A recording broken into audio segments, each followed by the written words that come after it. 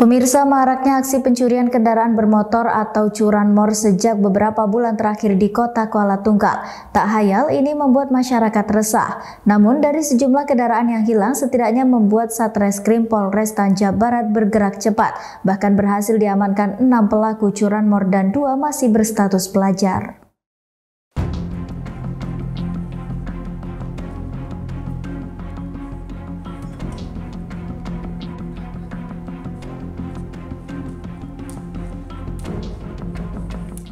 Keberhasilan mengungkap kasus curanmor jajaran Polres Tanja Barat digelar langsung konferensi pers pada Selasa pagi. Kasus curanmor ini merupakan atensi dari pimpinan karena sejak Januari hingga saat ini berhasil mengamankan enam orang tersangka dengan delapan laporan polisi. Kapolres Tanja Barat AKBP Agung Basuki menjelaskan, pada 14 Januari berhasil mengamankan MA 20 tahun, AV 25 tahun, mereka berdua beraksi di 5 TKP dan saat ini telah menjadi tahanan kejaksaan. Kemudian selanjutnya pada 23 Januari berhasil mengamankan Mar 37 tahun atas kasus pencurian satu unit sepeda motor Aerox di Jalan Manunggal di depan Alfamart Kuala Tunggal. Dan terakhir pada 21 April Minggu berhasil mengamankan ketiga tersangka curanmor bahwa untuk dua tersangka masih berstatus pelajar di salah satu madrasah alia negeri di kota Kuala Tunggal. Adapun tiga pelaku curanmor yakni inisial DAP 17 tahun, MR 16 tahun, dan MA 19 tahun.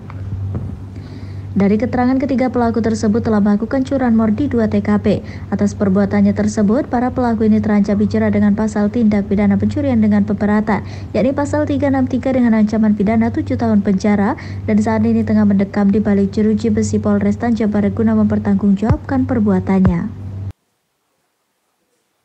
Tiga orang uh, tersangka curanmor ini dengan atas nama yang pertama DAP umur 17 tahun. Kemudian atas nama MR umur 16 tahun.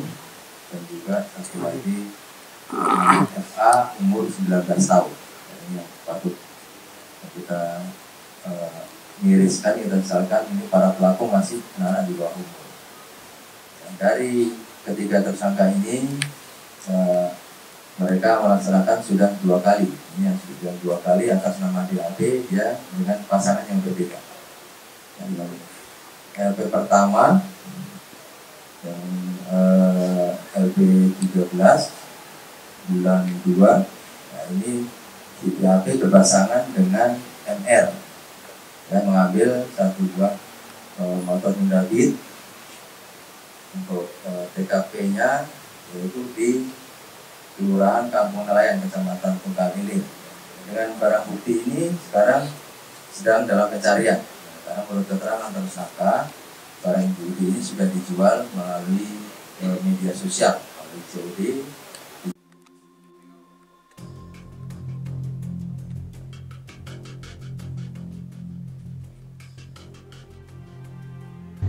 Sementara salah satu pelaku curanmor DAP saat ditanya Kapolres AKBP Agung, pelaku DAP tertunduk lesu seakan menyesalkan perbuatannya, sebab hasil kejahatan mereka semata-mata digunakan untuk berfoya-foya dan membeli pakaian baru. Baju, baju lebaran baju biasa. Yang kalian bagi berdua, 3 juta berapa satu orang dapat? setengah. Terus yang satu juta? Ini kasih. Lain siapa lagi? Siapa tuh bayang oh dia tuh jual juga. Menawarkan juga